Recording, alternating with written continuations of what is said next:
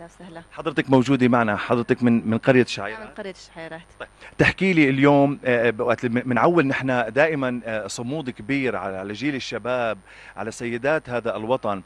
حاولوا النيل من صمودنا.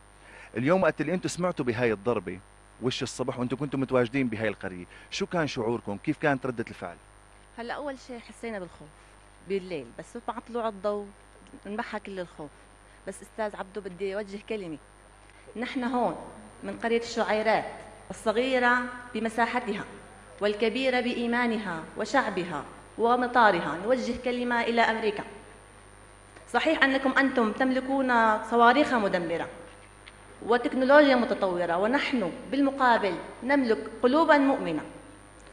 وعناية إلهية أقوى من إرهابكم. شكرا كثير لك طبعا.